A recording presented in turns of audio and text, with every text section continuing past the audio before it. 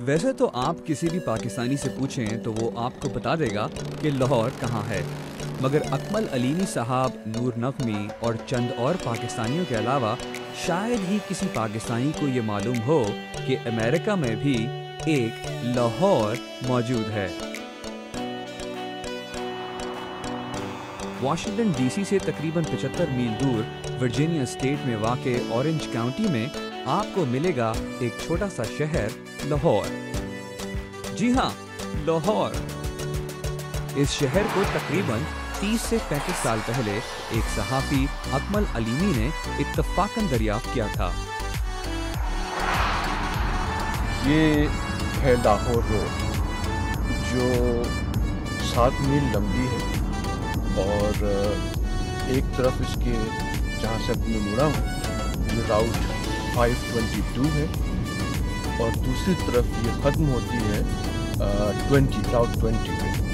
तो आज से कोई तीस पैंतीस साल पहले अकमल अलीनी साहब गलती से इस तरफ़ मुड़ के आ गए थे और यूँ ये लाहौर उन्होंने डिस्कवर किया था। आ, उन्होंने एक आर्टिकल लिखा था। इमरोज़ अखबार में, लाहौर, वर्जीनिया, कि लाहौर, कि वर्जीनिया में लाहौर। तो मैं उस वक्त टीनेजर था और वहाँ वो आर्टिकल मैंने पढ़ा। बस उसके बाद मुझे लग गया कि मुझे लाहौर के लिए कुछ करना है। ये है मेन लाहौर का हिस्सा। बकौल माइक के जो लाहौर वर्जीनिया में तकरीबन 1980 से रह रहे हैं How are you? Pretty good. Welcome back to Lahore. Thank you, thank you. Mike कहते हैं कि 1850 के करीब अमेरिकन लाहौर की बुनियाद एक अमेरिकन इमिग्रेंट जोड़े ने रखी थी Uh, from what I understand, uh, this was a small community uh, that got started in about uh, the 1870s. Uh, there was a uh, uh, the post office itself goes back. We, we can date back that far. Uh, this was the uh, one of the first schools in uh, Orange County. This was the main social hub, the store here.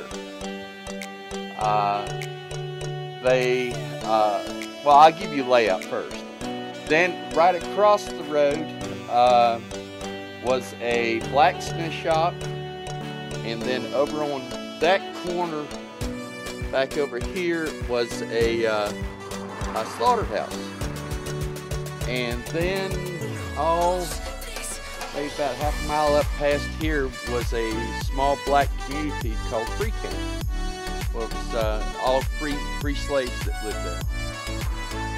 अठारह सौ सत्तावन में हिंदुस्तान की जंग आज़ादी और लाहौर शहर के बारे में जानने और उसकी तस्वीरें देखने के बाद जैक्सन फैमिली ने अपने इस छोटे से शहर का नाम लाहौर रख दिया और ताजुब की बात यह है कि अमेरिका के लाहौर में रहने वालों और बर सग़ीर के लाहौर के आवाम के रहने सहने के तरीकों में कोई ज़्यादा फ़र्क नहीं दिखा When we first bought this place, uh, was in the uh, uh, late 80s.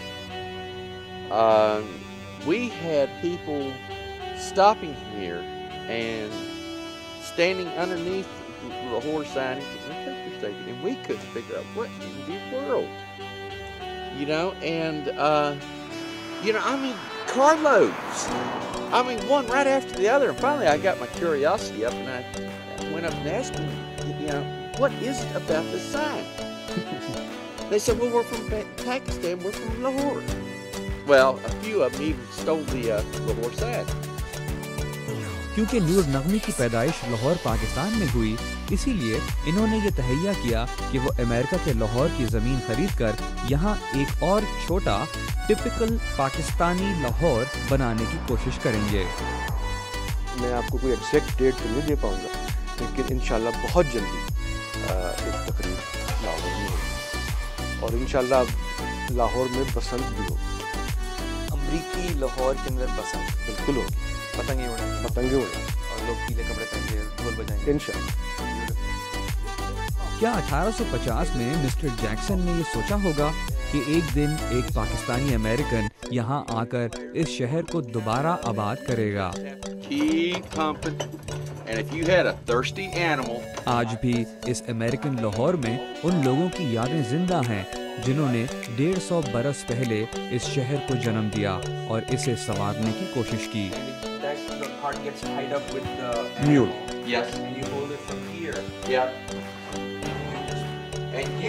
नूर नगमी भी यही चाहते हैं कि उस जमाने की सारी खसूसियात को साथ लेकर वो इसमें अपने पाकिस्तानी लाहौर का रंग मिला दें। कभी कभी ऐसा भी हुआ कि कुछ खतूत जो लाहौर पाकिस्तान जाने थे और जो भेजने वाला था वो पाकिस्तान लिखना भूल गया तो वो ख़त यहाँ पहुँच गया और मिस्टर और मिसेस जैक्सन समझते थे इस बात को तो वो फिर पाकिस्तान लिख के उसको फॉरवर्ड कर you know, to bring a taste of Pakistan here and let people take a taste of of, uh, of Lahore back to Pakistan. You know, uh, yeah, that I would that would just grip my trigger. शायद Jackson family भी यही चाहती थी Imran Siddiqui voice of America Lahore Virginia